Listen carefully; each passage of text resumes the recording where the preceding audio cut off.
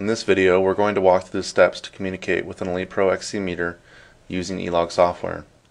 For this, we're going to need eLog software installed on our computer, an Elite Pro meter, and a USB cable, which is included with your meter purchase. First, connect the USB cable to the Elite Pro and plug it into your computer. eLog should open automatically, but if it does not, double-click the eLog desktop icon. The eLog window will open displaying the menus and a row of speed buttons used to quickly access frequently used eLog functions.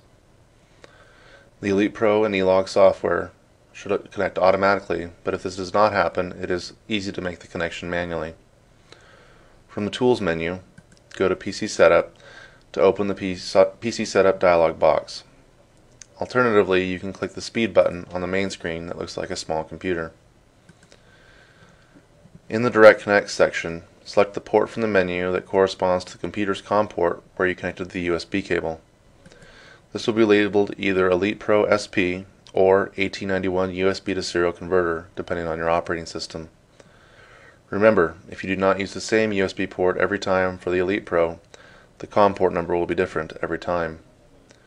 Once we've selected our COM port, we'll click the Save Changes button to close this dialog box. We are now ready to communicate with the Elite Pro. There are two ways to go about this. The first is to go to the logger menu, then select communication and connect via USB. The second method is to click the USB symbol speed button on the main screen. After the connection is made, eLog displays information about the logger at the bottom of the window, including the logger's serial number and firmware version.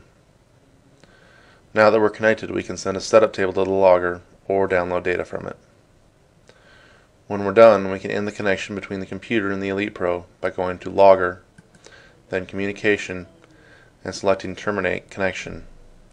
We can also use the Disconnect Speed button on the main screen to quickly end the connection. Thanks for watching.